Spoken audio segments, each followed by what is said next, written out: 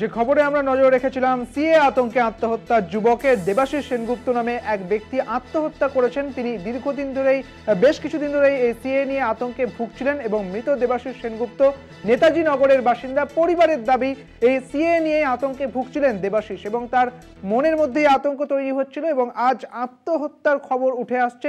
দেবাশিস সেনগুপ্ত তিনি আত্মহত্যা করেছেন এবং সিএ আতঙ্কে ভুগেই এই আত্মহত্যা। এমনটাই অভিযোগ করছে পরিবার।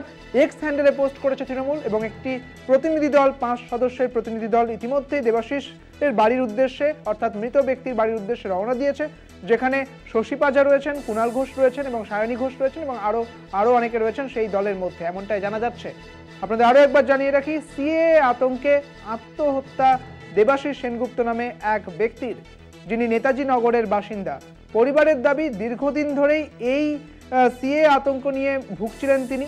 যে বিল ইতি, যে আইন ইতিমধ্যেই লাগু হয়ে গিয়েছে গোটা দেশে এবং সেই আইনের আতঙ্ক নিয়েই ভুগছিলেন, অর্থাৎ যে নাগরিকত্ব সংশোধনী আইন, সেই নাগরিকত্ব সংশোধনী আইন নিয়েই তিনি আতঙ্কে ভুগছিলেন এবং তারপরেই আত্মহত্যার পথ বেছে নিয়েছেন তিনি।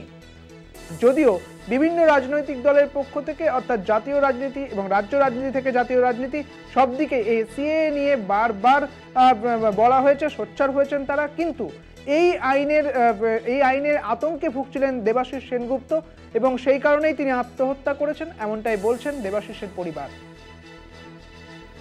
ইতিমধ্যে দেবাশিস সেনগুপ্তর বাড়ির উদ্দেশ্যে রওনা দিয়েছে তৃণমূল কংগ্রেসের পাঁচ প্রতিনিধির দল। যেখানে রয়েছেন শশী পাজা, কুণাল ঘোষ সায়নী ঘোষ, ছাড়াও আরও অনেকেই। এই আত্মহত্যা কেন তার তদন্ত শুরু করেছে পুলিশ এবং আপনাদের জানিয়ে রাখি, পরিবার অভিযোগ করছে সিএ নিয়ে দেবাশিস সেনগুপ্ত দীর্ঘদিন ধরেই আতঙ্কে ভুগছিলেন এবং তার জেরেই এই আত্মহত্যা।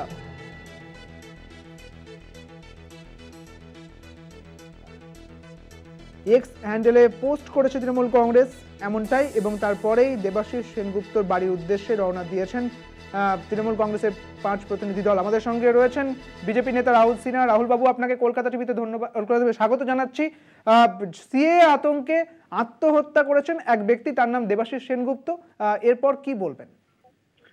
দেখুন, সিএ নিয়ে যারা অহেতুক আতঙ্ক তৈরি করে বেড়াচ্ছেন, তাদেরকে গ্রেপ্তার করা উচিত। আর আগামী দিন সেটাই হবে। তার কারণ, কোনো আত্মহত্যার কোনো সমস্ত কারণই নেই। কারণ যার চোদ্দ সালে যারা এখানে এসছে, চোদ্দ সালের পর তাদের নথির ব্যাপার আছে।